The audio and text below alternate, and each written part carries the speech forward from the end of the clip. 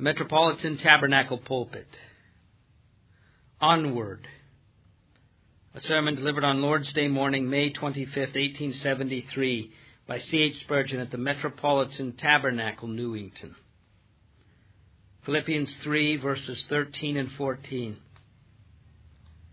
Brethren, I count not myself to have apprehended, but this one thing I do Forgetting those things which are behind and reaching forth unto those things which are before, I press toward the mark for the prize of the high calling of God in Christ Jesus.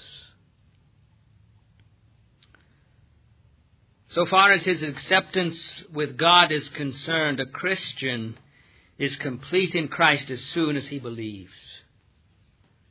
Those who have trusted themselves in the hands of the Lord Jesus are saved and they may enjoy holy confidence upon the matter, for they have a divine warrant for so doing.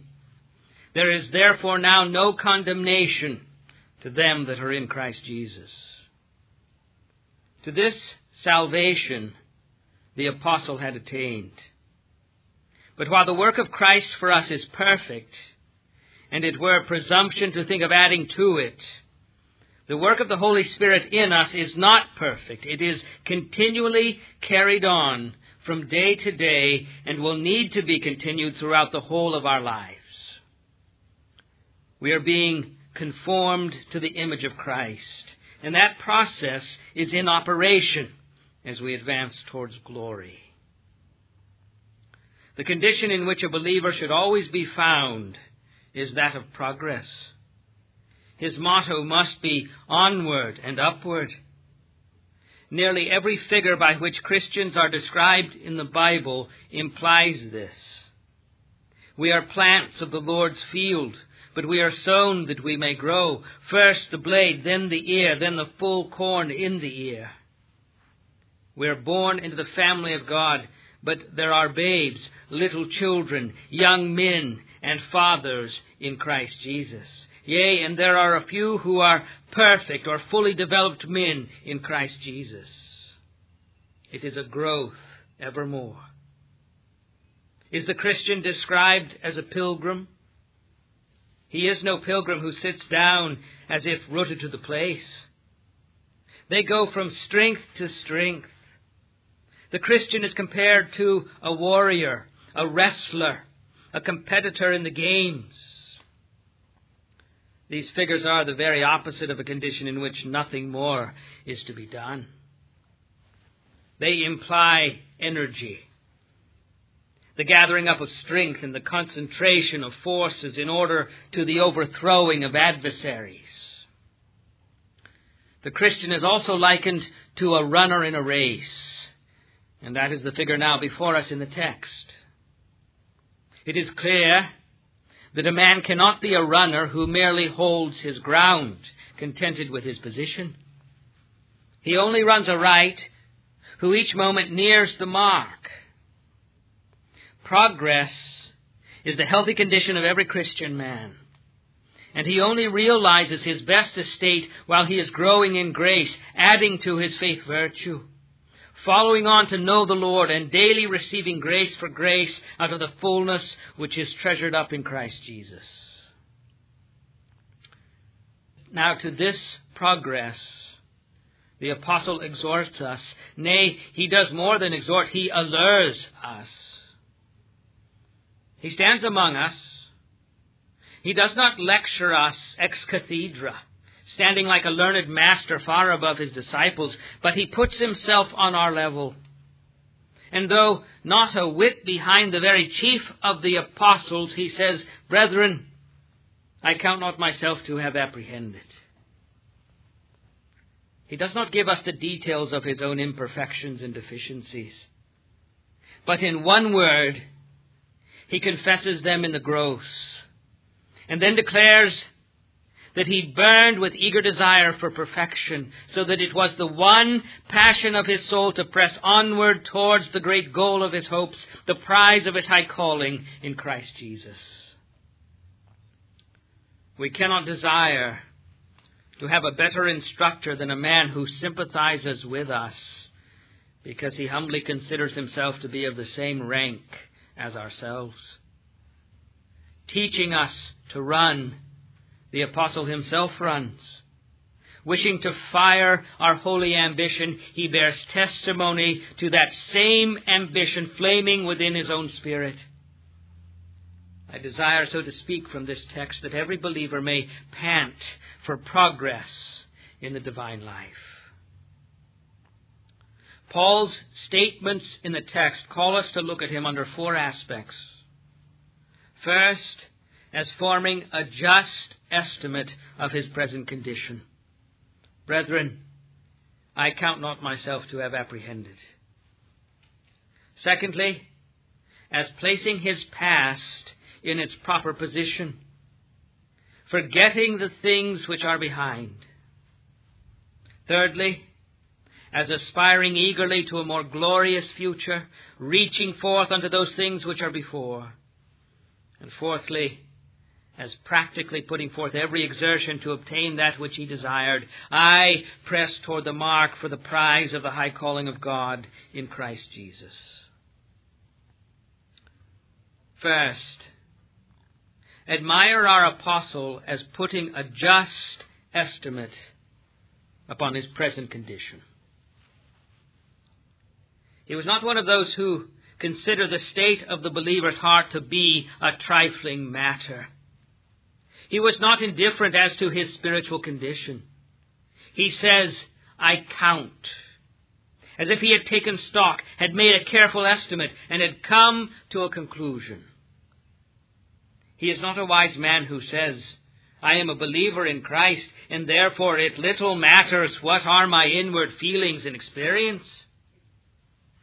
He who so speaks should remember that keeping the heart with all diligence is a precept of inspiration, that a careless walk usually comes to a very sorrowful ending.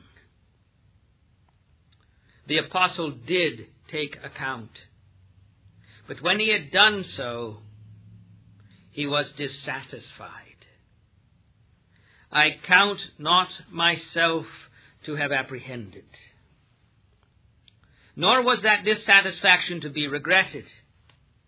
It was a sign of true grace, a conclusion which is always arrived at when saints judge themselves rightly. Most weighty is that word of Chrysostom he who thinks he has obtained everything hath nothing. Had Paul been satisfied with his attainments, he would never have sought for more. Most men cry hold when they think they have done enough. The man who could honestly write, I press forward, you may be quite sure was one who felt that he had not yet apprehended all that might be gained. Self satisfaction rings the death knell of progress. There must be a deep seated discontent with present attainments, or there will never be a striving after the things which are yet beyond. Now, beloved, remark that the man who in our text tells us that he had not apprehended was a man vastly superior to any of us. Among them that were born of women, there has never lived a greater than Paul the Apostle. In sufferings for Christ, a martyr of the first class. In ministry for Christ, an apostle of foremost degree. Where shall I find such a man for revelations? For he had been caught up into the third heaven and heard words which it was not lawful for him to utter. Where shall I find his match for character? a character splendidly balanced, as nearly approximating to that of his divine master as we may well expect to see in mortal men. Yet after having duly considered the matter, this notable saint said, I count not myself to have apprehended. Shame then on any of us poor dwarfs, if we are so vain as to count that we have apprehended. Shame upon the indecent self-conceit of any man who congratulates himself upon his own spiritual condition when Paul himself said, Not as though I had already attained, either were already perfect. The injury which self-content will do a man, it would be hard to measure. It is the readiest way to stunt him and the surest method to keep him weak. I should be sorry indeed if I should be addressing one who imagines that he is apprehended. For his progress in grace is barred from this time forth. The moment a man says, I have it, he will no longer try to obtain it. The moment he cries, it is enough, he will not labor after more. Yet, brethren, Far too often of late have I come across the path of those who speak as if they have apprehended. Brethren whose own lips praise them, who descant upon their own fullness of grace with an unction rather too unctuous for my taste. I am not about to condemn them. I cannot say I am not about to censor them, for I intend to do so from a deep sense of the necessity that they should be censored. These friends assure us that they have reached great heights of grace and are now in splendid spiritual condition. I should be very glad to know that it is so if it were true. But I am grieved to hear them act as witnesses for themselves. For then I know that their witness is not true. If it were so, they would be the last men to publish it abroad. There are brethren abroad whose eminent graciousness is not very clear to others, but it is very evident to themselves, and equally vivid to their apprehension of the great inferiority of most of their brethren. They talk to us not as men of like passions with ourselves and brethren of the same stock, but as demigods thundering out of the clouds, giants discoursing to the little men around them.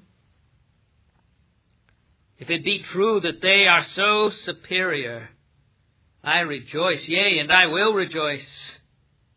But my suspicion is that their glorying is not good, and that the spirit which they manifest will prove a snare to them.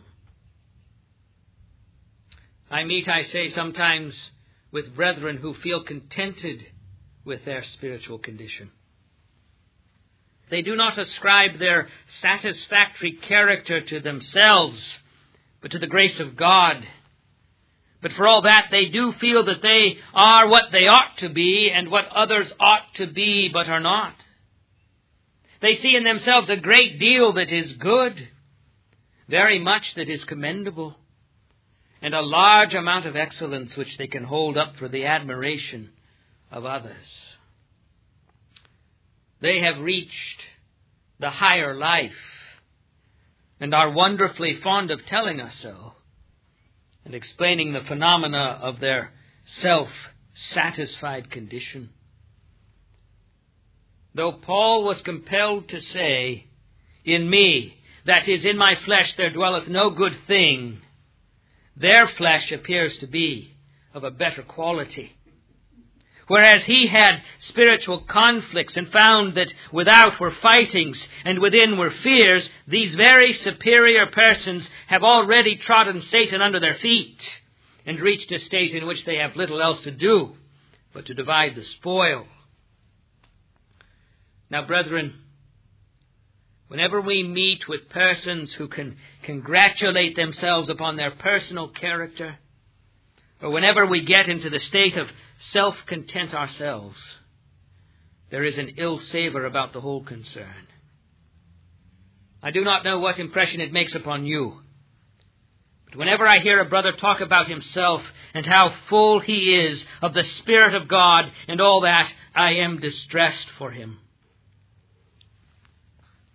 I think I hear the voice of that stately professor who said, God I thank thee that I am not as other men are. I feel that I would prefer to listen to that other man who said, God, be merciful to me, a sinner, and went down to his house justified rather than the other. When I hear a man crow about himself, I think of Peter's declaration, Though all men should deny thee, yet will not I and I hear another cock crow. Self complacency is the mother of a spiritual declension.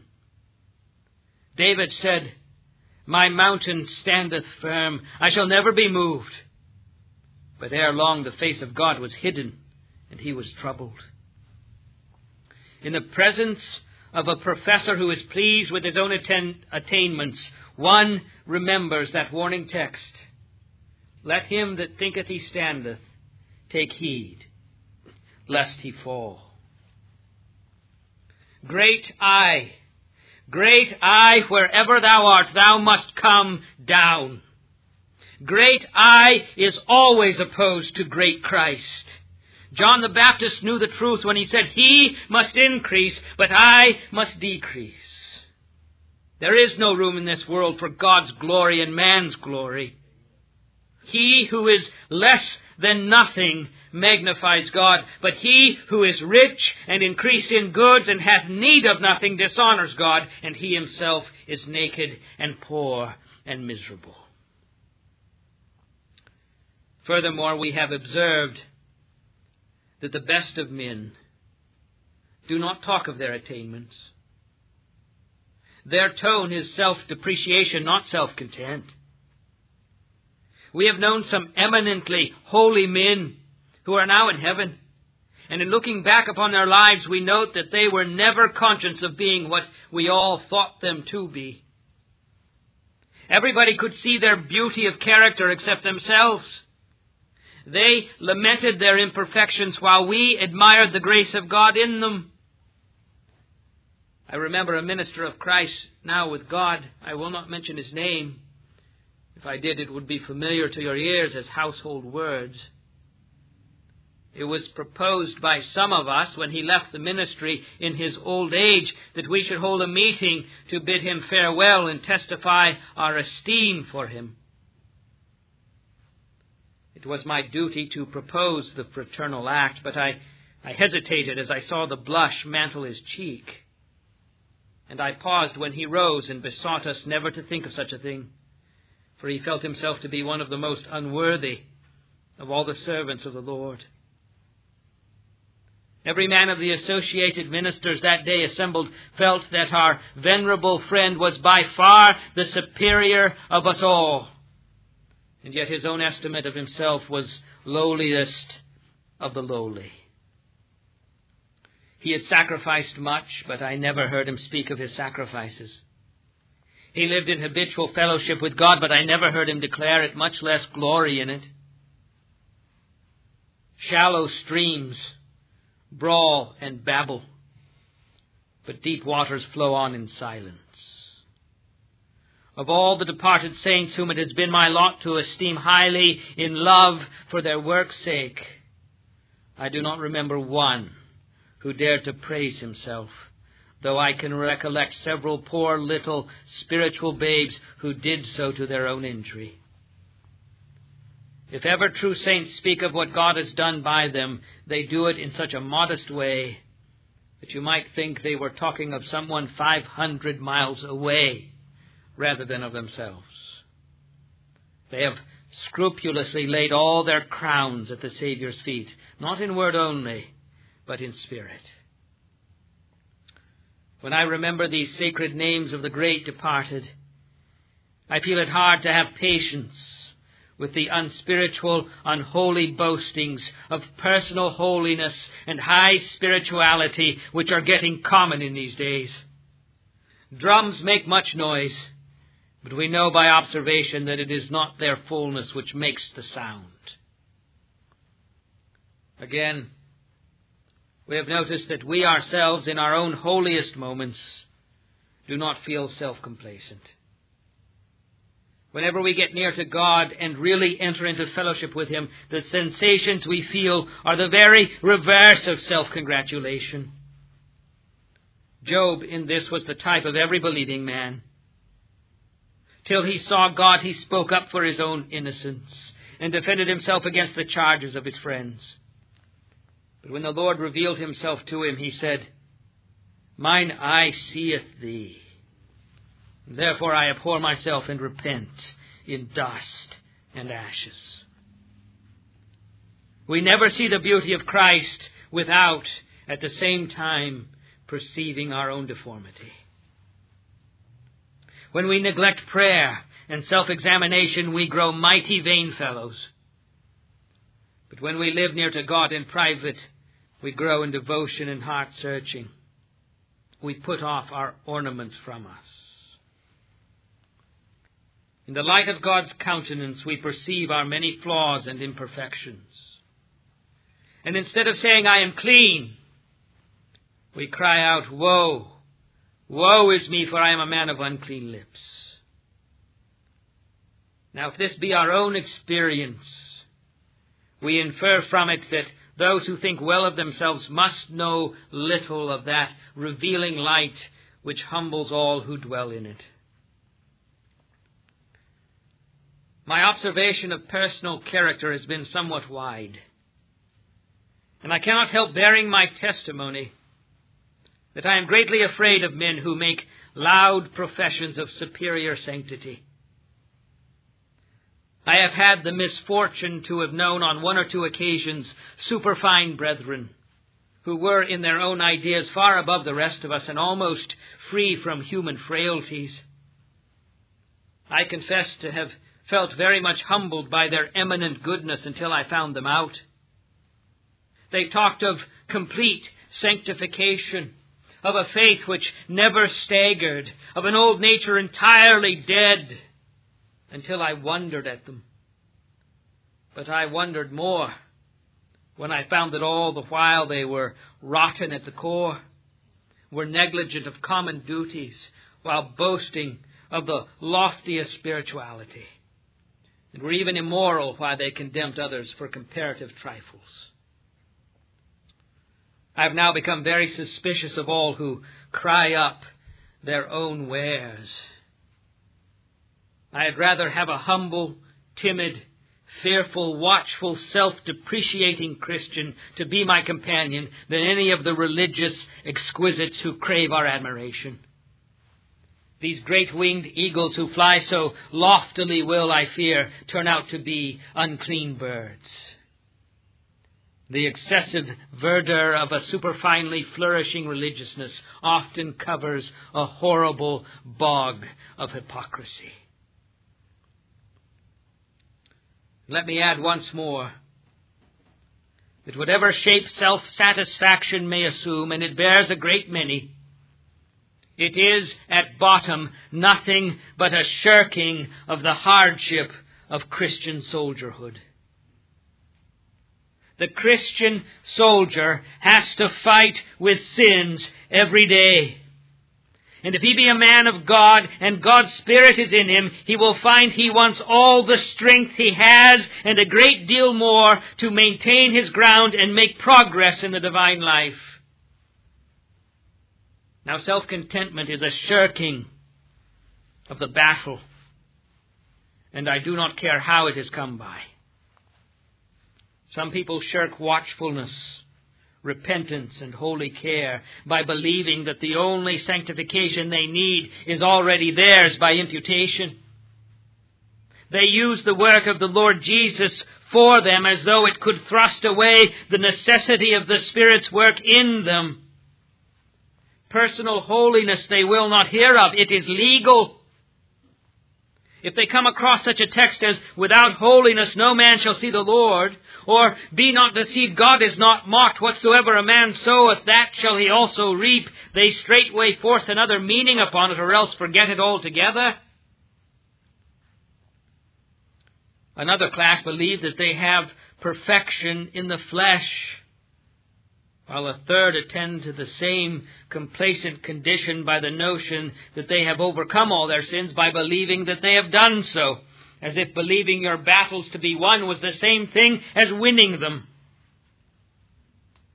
This which they call faith, I take the liberty to call a lazy, self-conceited presumption and though they persuade themselves that their sins are dead, it is certain that their carnal security is vigorous enough and highly probable that the rest of their sins are only keeping out of the way to let their pride have room to develop itself to ruinous proportions. You can reach self-complacency by a great many roads. I have known enthusiasts reach it by sheer intoxication of excitement, while antinomians come at it by imagining that the law is abolished and that what is sin in others is not sin in saints. There are theories which afford an evil peace to the mind by throwing all blame of sin upon fate, and others which lower the standard of God's demands so as to make them reachable by fallen humanity. Some dream that a mere dead faith in Jesus will save them. Let them live as they list, and others that they are already as good as need be. Many have fallen into the same condition by another error for they have said, well, we cannot conquer all sin, and therefore we need not aim at it. Some of our sins are constitutional and will never be got rid of. Under these evil impressions, they sit down and say, It is well, O soul. Thou art in an excellent condition. Sit still and take thine ease. There is little more to be done. There is no need to attempt more. All this is evil to the last degree. I've used few theological terms because it does not matter how we get to be self-satisfied, whether by an orthodox or a heterodox mode of reasoning, it is a mischievous thing in any case. The fact is, my brother, the Lord calls us to this high calling of contending with sin within and without until we die. And it is of no use our mincing the matter. We must fight if we would reign. Our sins will have to be contended with till our dying day, and probably we shall have to fight upon our deathbed. Therefore, every day we are bound to be upon our watchtower against sin around and within us. It is of no use our deluding ourselves with pretty theories, which act only as spiritual opium to cause unhealthy dreams. Sin is a real thing with each one of us and must be daily wrestled with. There is an evil heart of unbelief within us and the devil without us, and we must watch and pray and cry mightily and strive and struggle and own that we have not yet apprehended. If we dream that we are at the goal already, we shall stop short of the prize. The full soul loatheth the honeycomb. A man full of self cares for nothing more. Shake off these slothful bands, my brethren. Quit you like men. Be strong. You are as weak as others and as likely to sin. Watch, therefore, and pray, lest ye enter into temptation. What is it at bottom that makes men contented with themselves? It may be, first of all, a forgetfulness of the awful holiness of the law of God. If the law of the Ten Commandments is to be read only as its letter runs, I could imagine a man's judging himself and saying, I have apprehended. But when we know that the law is spiritual, how can we be self-complacent? My dear brother, if thou thinkest thou hast reached its perfect height, I ask thee to hear these words. Thou shalt love the Lord thy God with all thy heart, with all thy soul, with all thy mind, and with all thy strength, and thy neighbor as thyself. Canst thou say in the sight of a heart searching God, I have fulfilled all that? If you can, I am staggered at you and think you the victim of a strong delusion which leads you to believe a lie. Brethren who can take delight in themselves must have lost sight of the heinousness of sin. The least sin is a desperate evil, an assault upon the throne of God, an insult to the majesty of heaven.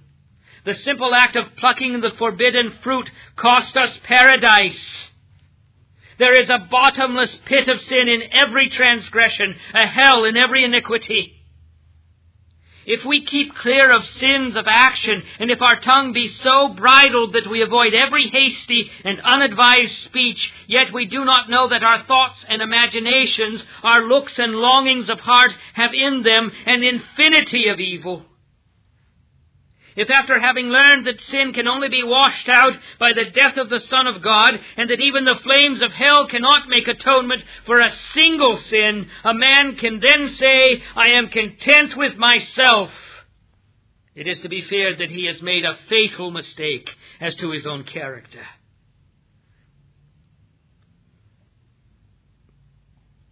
Is there not a failure in such cases to understand the highest standard of Christian living? If we measure ourselves among ourselves, there are many believers here who might be pretty well satisfied. You are as generous as other Christians are, considering your income. You are as prayerful as most other professors and as earnest in doing good as any of your neighbors if you are worldly, yet not more worldly than most professors nowadays, and so you judge yourself not to be far below the standard. But what a standard! Let us seek a better. Brethren, it is a very healthy thing for us who are ministers to read a biography like that of M'Cheyne. Read that through if you are a minister, and it will burst many of your windbags. You will find yourselves collapse most terribly. Take the life of Brainerd amongst the Indians, or of Baxter in your own land. Think of the holiness of George Herbert, the devoutness of Fletcher, or the zeal of Whitefield. Where do you find yourself after reading their lives? Might you not peep about to find a hiding place for your insignificance? When we mix with dwarfs, we think ourselves giants. But in the presence of giants, we become dwarfs. When we think of the saints departed and remember their patience in suffering, their diligence in labor, their ardor, their self-denial, their humility, their tears, their prayers, their midnight cries, their intercession for the souls of others, their pouring out their hearts before God for the glory of Christ, why, we shrink into less than nothing and find no word of boasting on our tongue. If we survey the life of the only perfect one, our dear Lord and Master, the sight of His beauty covers our whole countenance with a blush. He is the lily, and we are the thorns. He is the sun, and we are as the night. He is all good, and we are all ill. In His presence we bow in the dust. We confess our sin and count ourselves unworthy to unloose his shoe latchets. It is to be feared that there is springing up in some parts of the Christian church a deceitful form of self-righteousness which leads even good people to think too highly of themselves. It is a fashionable form of fanaticism, very pleasing to the flesh, very fascinating, and very deadly. Many, I fear, are not really living so near to God as they think they are. Neither are they as holy as they dream. It is very easy to frequent Bible readings and conferences and excited public meetings and to fill oneself with the gas of self-esteem. A little pious talk with a sort of Christians who always walk on high stilts will soon tempt you to use the stilts yourself. But indeed, dear brother, you are a poor, unworthy worm and a nobody.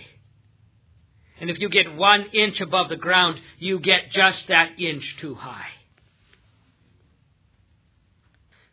Remember, you may think yourself to be very strong in a certain direction because you do not happen to be tried on that point.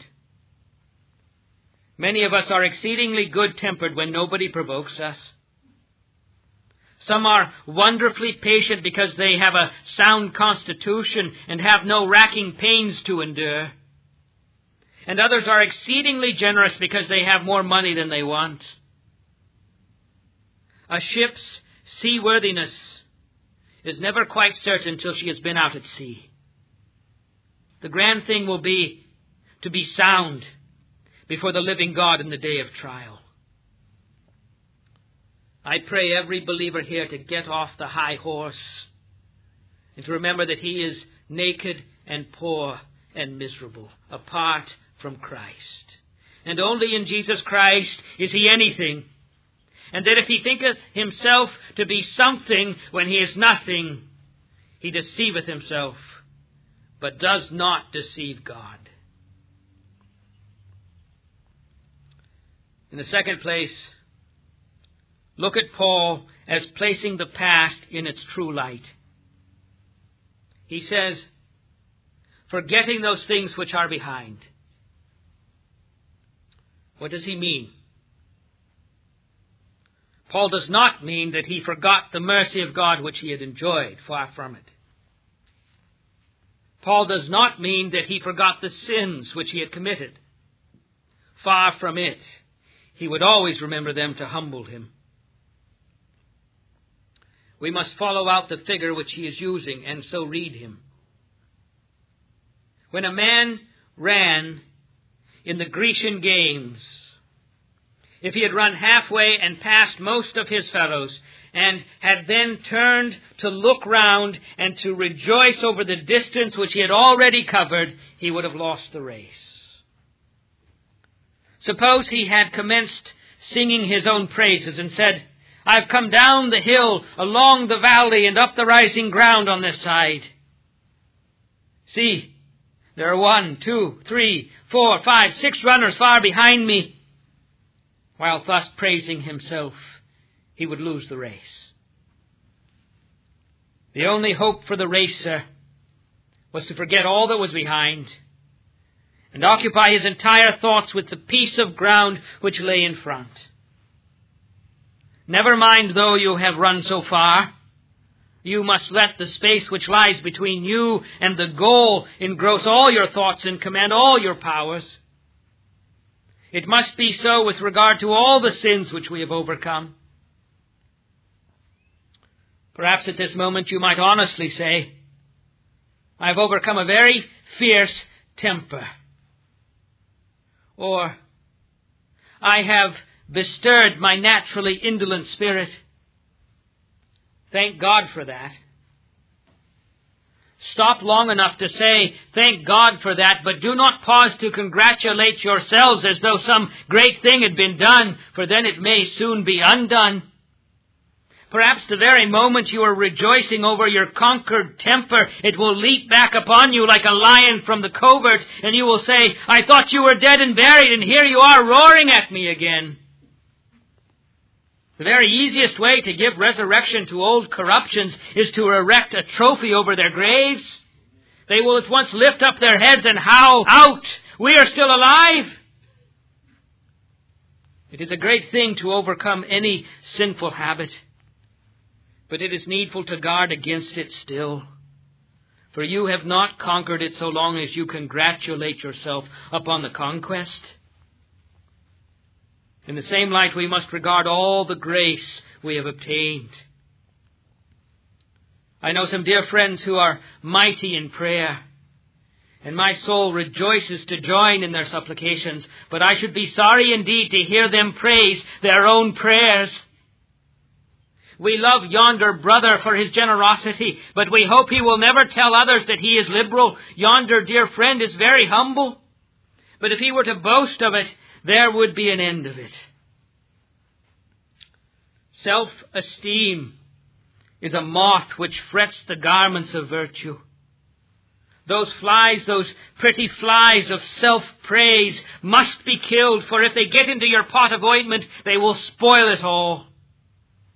Forget the past. Thank God who has made you pray so well. Thank God who has made you kind, gentle, or humble. Thank God who has made you give liberally. But forget it all and go forward, since there is yet very much land to be possessed.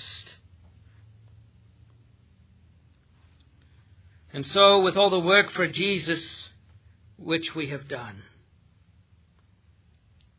Some people seem to have very good memories as to what they have performed. They used to serve God wonderfully when they were young. They began early and were full of zeal.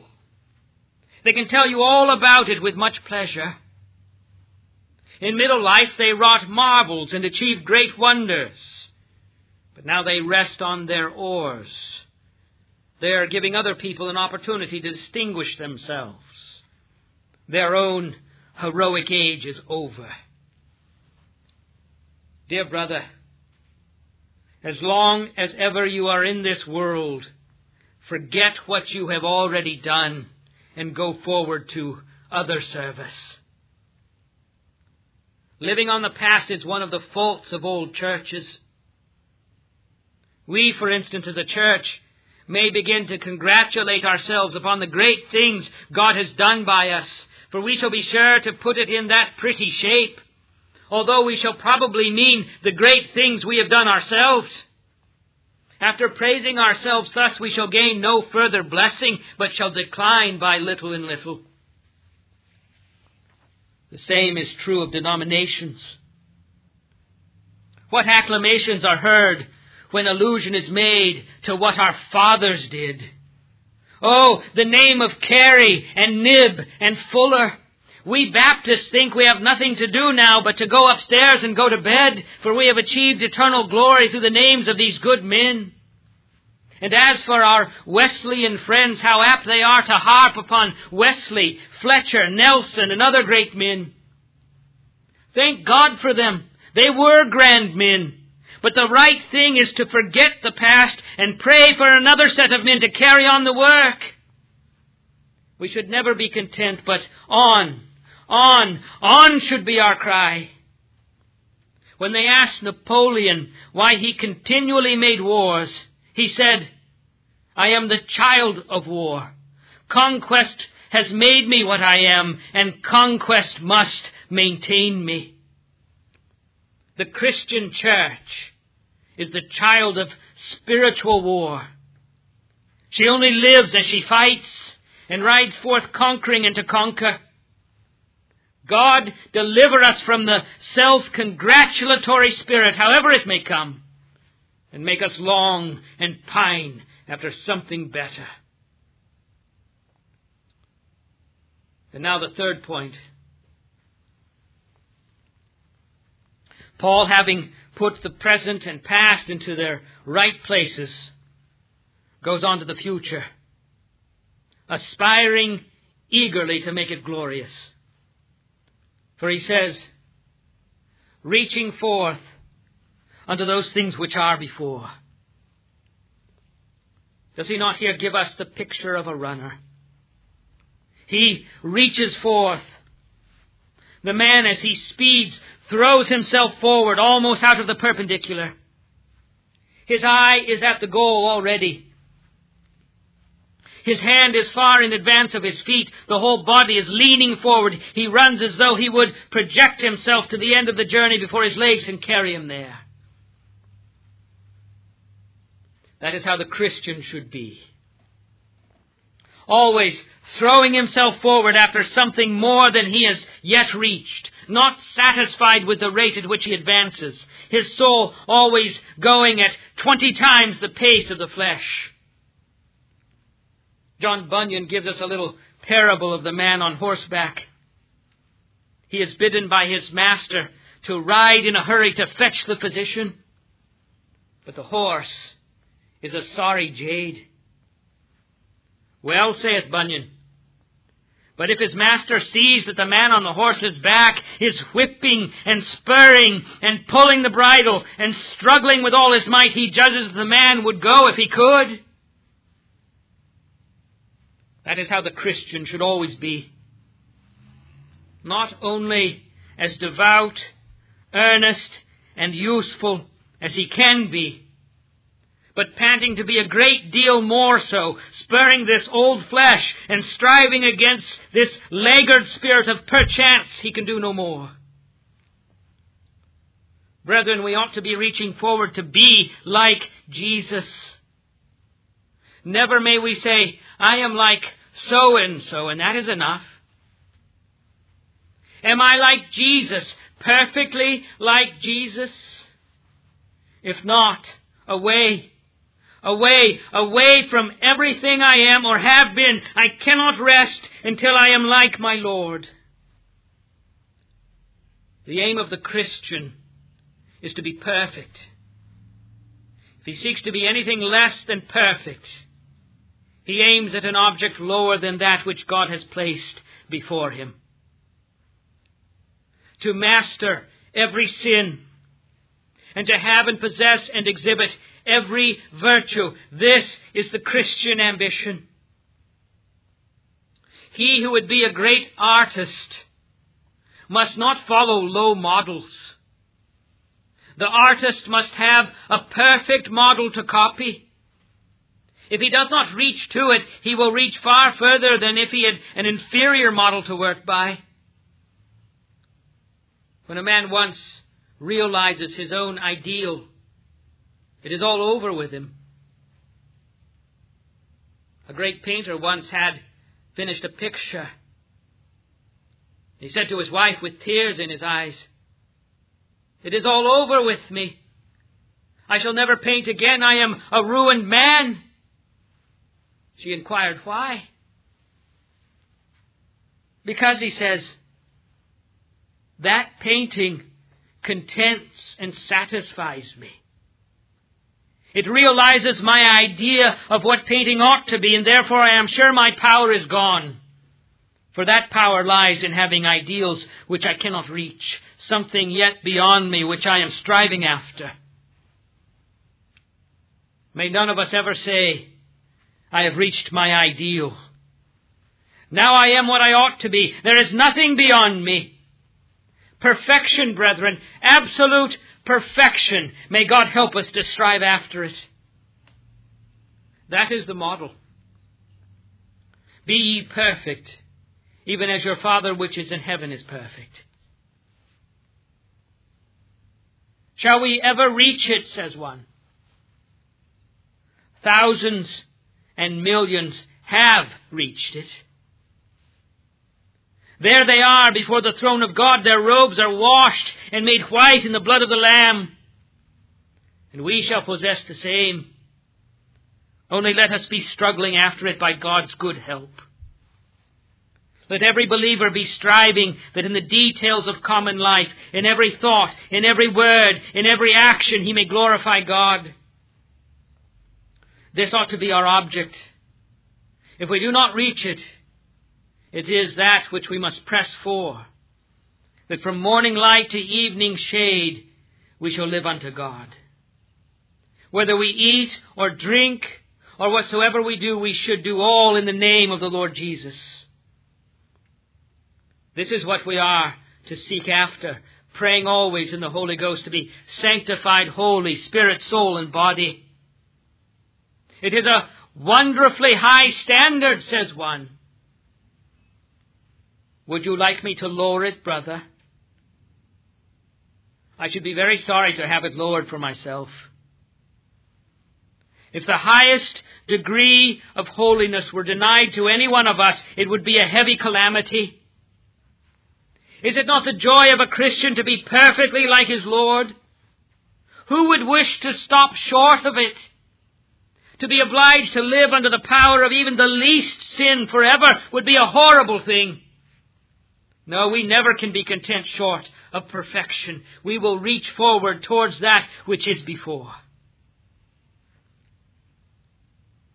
And now the apostle is our model in the fourth place because he puts forth all his exertions to reach that which he desires. He says, This one thing I do, as if he had given up all else and addicted himself to one sole object, to aim to be like Jesus Christ. There were many other things Paul might have attempted, but he says, This one thing I do. Probably Paul was a poor speaker. Why did not he try to make himself a rhetorician? No, he came not with excellency of speech. But you tell me Paul was busy with his tent making. I know he was. What with tent making, preaching and visiting and watching night and day, he had more than enough to do. But all these were a part of his pursuit of the one thing. He was laboring perfectly to serve his master and to render himself up as a whole burnt offering unto God. I invite every soul that has been saved by the precious blood of Christ to gather up all its strength for this one thing to cultivate a passion for grace and an intense longing after holiness. Ah, if we could but serve God as God should be served, and be such manner of people as we ought to be in all holy con- conversation and godliness, we should see a new era in the church. The greatest want of the church at this day is holiness. Why? did Paul pursue holiness with such concentrated purpose? Because he felt God had called him to it. He aimed at the prize of his high calling. God had elected Paul to be a champion against sin. Selected to be Jehovah's champion, he felt that he must play the man. Moreover, it was God in Christ Jesus who made the choice. And as the apostle looked up and saw the mild face of the Redeemer and marked the thorn crown of the King of sorrows, he felt he must overcome sin. He could not let a single evil live within him. And though he had not yet apprehended, yet he felt he must press forward till he had apprehended that to which God in Christ had called him. Moreover, the apostle saw his crown. The crown of life that fadeth not away, hanging bright before his eyes. What, said he, shall tempt me from that path of which yon crown is the end? Let the golden apples be thrown in my way. I cannot even look at them, nor stay to spurn them with my feet. Let the sirens sing on either side and seek to charm me with their evil beauty to leave the holy road, but I must not and I will not. Heaven, heaven, heaven is not this enough to make a man dash forward in the road thither? The end is glorious. What if the running be laborious?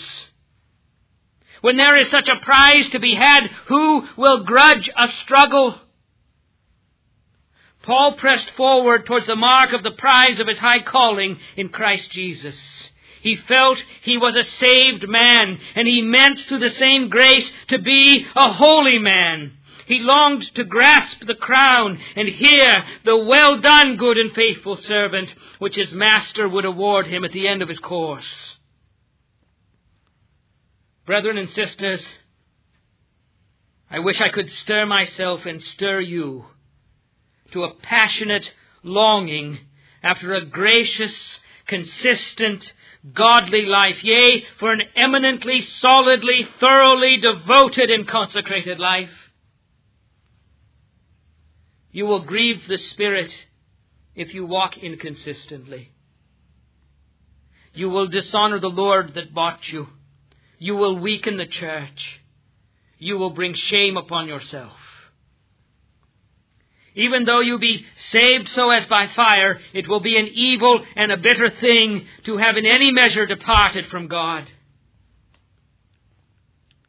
But to be always going onward, to be never self-satisfied, to be always laboring to be better Christians, to be aiming at the rarest sanctity, this shall be your honor, the church's comfort, and the glory of God. May the Lord help you to perfect holiness in the fear of God. Amen.